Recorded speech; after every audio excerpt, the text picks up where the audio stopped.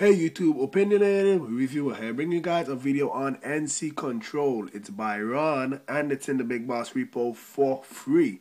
Now, basically what it is, uh, I'll have to demonstrate it for you guys. So I'm going to go into my settings app.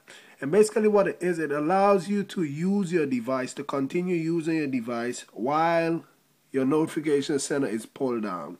As you can see my notification center background it's transparent but it's not only transparent I can also use my device I can still browse through my device and tap on on stuff even though uh, my notification center is pulled down Now, if I have any notifications, as long as they're in the way, I can't touch it. But as long as there's no space, as long as there's a space where I can touch, I can go ahead and touch touch uh, my background or whatever. I'll go ahead and show you guys it better in an app. So I'm inside Twitter. I'm going to pull down my notification center.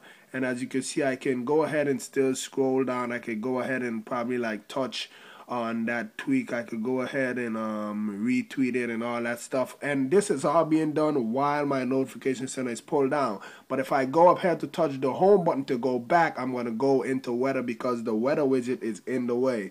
So yeah, you can you can still use your device while your notification center is pulled down. And that's the concept behind the tweak. So yeah. It has nothing to be configured, so you're not going to find anything inside the settings app. You just install it and you're ready to go. This one is called NC Control. It's in the Big Boss repo for free. It's a matter of preference if you want to get it or not. With that being said, please rate, comment, subscribe.